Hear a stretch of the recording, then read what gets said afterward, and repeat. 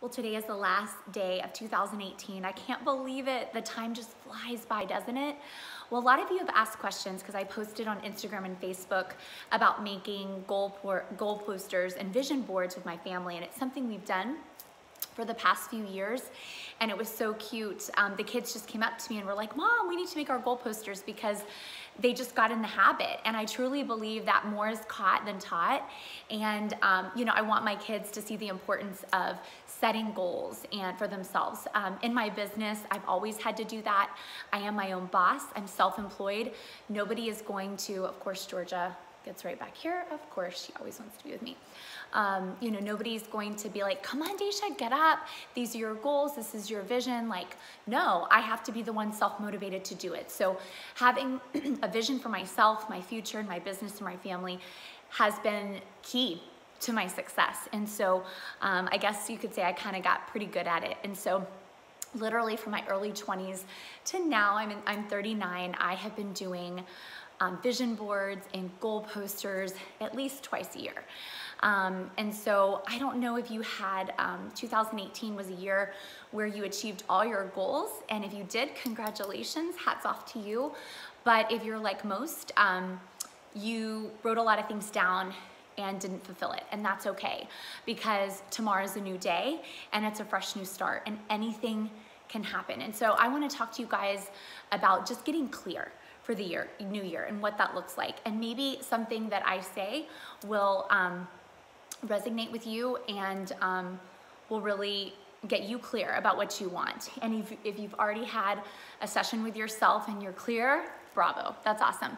But if not, maybe this will motivate you. So what I do normally um, the last month of the year in 2018 is I get quiet. And I know that's so hard um, for anybody. Getting quiet is so hard, but it's so key to get still and to get quiet with yourself. And so that's what I do is I just take like a spiral notebook and I will go outside or in a quiet room and I will literally just get still and be quiet, maybe pray and ask for God to give me a word or words or whatever it is. And I might just start doodling or making like um, a map of what I want. Like I might circle a word and what that means. And that kind of just gets my mind going. And that really, really helps. So I think the most important thing for you to do is to get quiet and to get still because sometimes we have to slow down to speed up, right? So that's what I want you to do if you haven't done that already, okay? So what I want you to think of is in your wildest dreams, right? Five years from now, where do you see yourself? Five years from now, where do you see, see yourself? In your wildest dreams, if you could accomplish anything, what would that be? Write that down and then later I want you to find pictures to go with that, okay? Then what I want you to do is I want you to think of a midterm goal. What is that? That's gonna be this whole year. So for 2019, a year from now, what do you want to achieve? It might be um, family goals, nutritional goals, business goals, whatever it is. But a year from now, what will that be? That's midterm goals, okay? So I want you to write that down specifically, okay? So what you're gonna do is you're gonna get quiet and think about that. So your long-term goal is five years out and your midterm goal is a year out. And then I want you to think a short-term goal, which is a month out. So every month you wanna sit down with yourself and say, what do I want to achieve a month from now? And then you're gonna work backwards. You're gonna go from working backwards and what am I achieving this month? Then what am I achieving within the week? And what am I achieving within the day, okay? And so that is gonna help you kind of set yourself up. So I want you to write down your long-term goal, five years out in your wildest dreams, what, what would you wanna achieve? Um, a midterm goal, which is a year out, and then your short-term goal, which is gonna be for January. And when you do that, um, it's really gonna help you because this is the deal, you guys, what happens is we start off the new year and we're so excited, right? Like we're gonna work out every day and we're gonna lose those last 10 pounds. Or, you know, we're gonna achieve something big in our career. And, you know, whether you're in sales and you're gonna make 10 outgoing calls a day, or you're going to be um, just more intentional at work, or you're going to be, um, fearless and go for that job opportunity that you've been too fearful to go for or to do more to reach another level in your business. But what happens is, is you're gonna start off strong. And then what's gonna happen a few weeks in is that self-doubt of, will, will this all pan out? You know, will it work for me? Uh, is the work really worth it? but I don't feel like getting up at 5.30. Oh, one day won't matter right? That, that negative self-talk, and boy, Satan knows what he's doing, right? And so this is the deal, you guys. This is why the miracle morning and getting up early is so important. So first and foremost, you can equip yourself. You can put that armor and that protection on, right?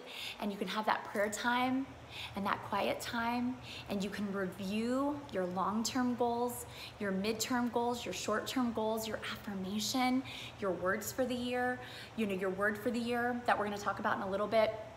Those verses you connected with you're regrouping you're you're getting ready you're getting your mind prepared.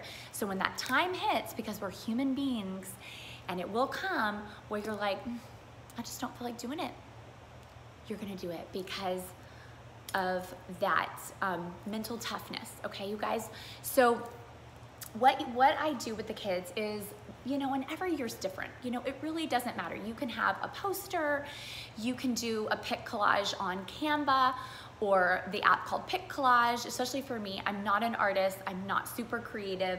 And so I just went to Office Max yesterday and I got five posters, five simple posters and post-it notes. And I said, guys, get creative. We took an hour and I didn't control, I didn't tell them what they were supposed to write. And so for example, this is my oldest, so he wrote goals for 2019.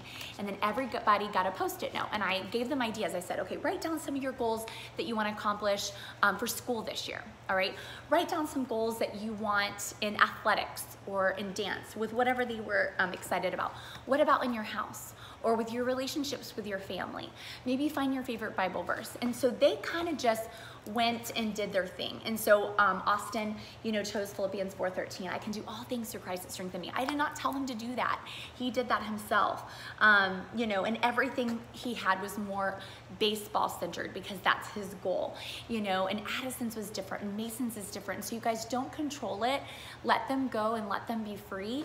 Um, but that's, I mean, it doesn't have to be super crazy. So just give them a little poster board or a spiral or sheet of paper with little post-it notes and section it off. And so um, your adult goals are gonna be different than your kids' goals. So like I said, I would have them write down goals for school, write down goals for siblings and friends, what they foresee for their future, and anything that they wanna work on, okay? And then for me, now mind you, I just wrote mine down I'd already had it, had it written down. I'm actually, what I'm gonna do is I created one on Pic Collage and I'm sending it off to Office Max to laminate. But in the meantime, I at least wrote it down so that I could share it with them and with you guys. And so what I did was I always pick a word for the year and that's when I get quiet. And so God gave me the word joy. He gave me the word joy and the verse to go along with it was 1 Thessalonians 5, 16 through 18 that said, be joyful always, pray at all times, be thankful in all circumstances. This is what God wants for you in your life in union with Christ Jesus. And I love that because you know, I consider myself to be a very joyful, happy person, but it's hard when things are tough. And so my goal is to be that example because I believe that the best way that you can show Jesus is by having joy. And that joy to me is Christ within and just being happy. And when people see that you're happy through the good times and the bad times, they wonder like what it is what is it about you? And you're able to share that it's Christ Jesus that's in you because I wouldn't have been able to accomplish anything. I wouldn't have been able to be the best wife I can be. I would not have been able to have three kids. I would have not have been able to achieve the success that I've had in my business if it wasn't for connecting to Jesus. That's the honest truth. And um, I don't know what your faith is, but that's mine. And I do know that your faith is important. And so I wrote my word with my verse. And then I wrote down everything in my faith, how I want to grow in my faith. I'm not going to read you all this because it's personal, but um, for example, with faith, I put quiet time every single day without fail, first thing in the morning, 15 to 20 minutes, quiet time in prayer, reading 10 pages in a leadership book. Um, I'm really big into singing, and so I want to get involved in the singing ministry. So that was just, I have a few more things. And then I put health, what I want for health. I already work out three times a week, but I'm going to move up to four times a week. And I need to drink more water, eight glasses of water. Um, relationship, you know, pray I pray for my spouse, but we don't always pray together. So I really want to work on that. Um, business, my goal is inner circle, which is the top level in our company, um, top ranked in, in our company. And so it's a high level and I'm high, high diamond circle, but I want to achieve inner circle. And so that's my goal. And then I have a whole lot of other things. And then my sales goal and what I want to do daily. And then I have um, with my kids. I want to be more in the moment with my kids and purposeful and have more single dates with each one of them and really love them the way that their love language um, is, you know, so like my firstborn, he's more, his love language is touch. And so it means a whole lot to him when I sit down with him and I pray and I rub his back at night. And so that means a lot to him. Mason is more words. And so just you know, sitting down with him, encouraging him, catching him doing the smallest thing, and just saying, good job, buddy. Like, that's awesome. Or, you know, Addison is time. You know, she really enjoys those 101 little dates with me. And so making time for that. And so, um, and then there was a few other things on here um, that I put, like being on time. You know, I'm really trying hard, but it's something, you know, we all have that thing that we fight, that we struggle with. And so for me, it's time. And so setting the clock back, really being intentional with being on time this year. And, you know, we're not perfect. And another thing I want to try to really do is touch it once. And what that means is touch it once means, I don't know about you, but have you guys ever cleaned out your house and everything's clean and clear? And then you take out that outfit or maybe you take out those two outfits and then you put one on, but then you leave one there on the dresser on the on on the couch. Hold on, honey. Okay. Or you take out your makeup and you do your makeup, but you don't put it back. Okay. I'm not bad, but I would say I need some improvement. and so what I mean by that touch it once is put it back right away. And I know that that's gonna save so much more time. And so anyway, I wanna encourage you to sit down and to do your goal posters or your vision board with your family. You can do it on a, you know, an old fashioned poster board. You can do it on Pic Collage. And on my Pic Collage one, there's pictures of things that I want, trips that trips and places that we wanna go this year, things we wanna do for the house, um, people that I wanna develop in my business, things I wanna develop for myself. So that I'll show to you as that's done, but at least I have it written down. Um, and so I really wanna encourage you to sit down and get quiet, find your word with a verse that attaches to it. And you know what? Pray about your word. You might already have it. Um, it might come to you in a dream. It might come to you on a billboard. Um, it might come to you in a sermon. It might come to you in a podcast. Um, it might come to you just randomly through somebody else. But I want you to meditate and focus on that word. And in the morning, just if you catch yourself with a negative thought, or what your singular focus is because there's so much distraction right now, right? In our world, there's YouTube and there's Instagram and there's Facebook and everybody's doing this and that. And you've got to get clear. You got to get focused on your one thing, your goal, because it's hard to chase two rabbits when you're here and there and everywhere. And so that's what I learned was to get connected first in the year to what's my long-term goal. You guys, you got to live in your vision and not in your reality. That is how I achieved everything that I've been able to achieve in Mary Kay. I became the youngest national sales director in Mary Kay. I started at 22 and finished at 26. And I don't say that to you to brag. That's not what this is about. But what I'm saying is not many people were doing direct sales and network marketing.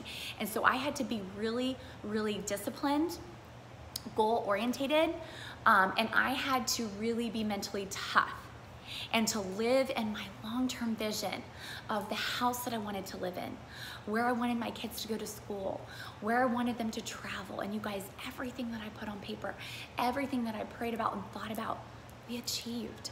And so you can't say that it's silly because it works. It truly works. What you speak over your life, what you think, what you meditate on, what you think about becomes a reality, you guys, and protecting your space. So um, so yeah, so get quiet, figure out your long-term, your mid-term, your short-term goal, do the brainstorming, like I told you, and create your goal posters for yourself, for your kids, for your husband. Get a new date book for the year. It always makes me feel good.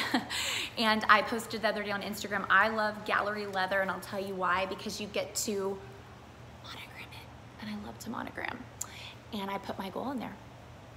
Put my goal in there. So it's pink gold. I love it. So you can get whatever color you want. And what I like about it is it fits in my purse. I can take it with me ever. And I like things with times. so that I can see it. Um, I don't like to just have one big space. So you have to know what's good for you and then your month at a glance and all that. So get a good date book. And I posted on my Instagram story underneath Dacia Daily the date books that I like, um, a little bit more about that. And so I'll come on here a little bit more to tell you guys a little bit more on goal setting and things you can do for the year. But you guys, the biggest advice I can give you is live in your vision and not in, not in your reality. Get mentally tough. Have that miracle morning, that quiet time to pray. Go over your word, your scripture, um, your goals. You know, read something in a leadership book or podcast, working out. Get your get yourself ready um, to conquer 2018. So um, I know it's going to be a great year, and I hope that this was encouraging to you.